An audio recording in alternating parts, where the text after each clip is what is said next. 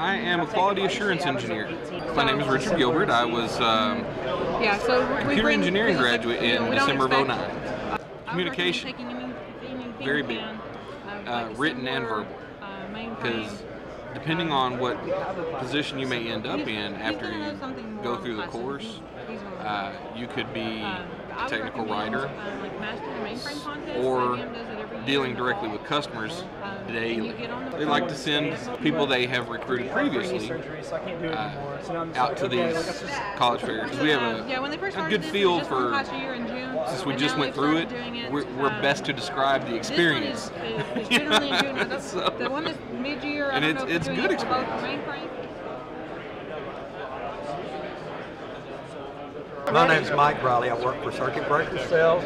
We come to UNT Career Fair because we've had good good luck with some of the students out here. The last show I was here three, or four months ago, we actually put three interns to work. We're in the Dallas-Fort Worth area. We've actually got a facility right here in, in Denton, which is the ARC Safe. Uh, we've got facilities in Houston, Arizona, California, Florida, all over the United States. We're about 16 facilities worldwide. An intern or a part-time person could easily find themselves full-time and a big contributor to our company.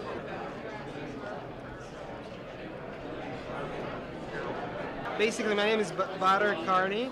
I'm an engineering management student at the engineering school. I started with Sabre through uh, an internship that was offered through this uh, same event last year, and I started as an intern, and then I got a full-time job.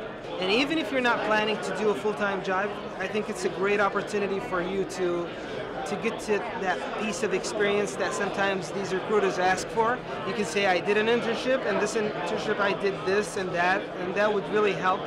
I think this is where the career fair really helps, and uh, yeah, I advise everybody to come to, to, to meet us here.